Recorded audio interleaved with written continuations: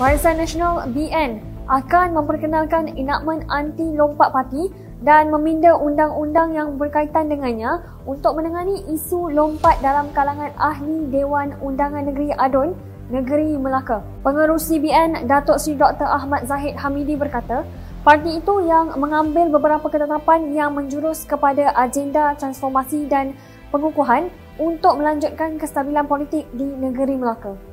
Memperkenalkan enactment anti lompat dan meminda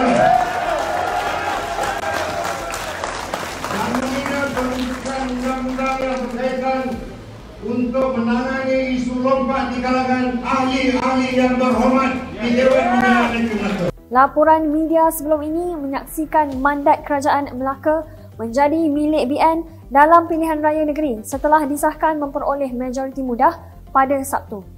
Suruhan Jaya Pilihan Raya SPR mengesahkan BN memenangi 15 daripada 28 kerusi yang dipertandingkan bersama Rasuah Busters membina nilai moral karakter bangsa dari rakyat demi rakyat.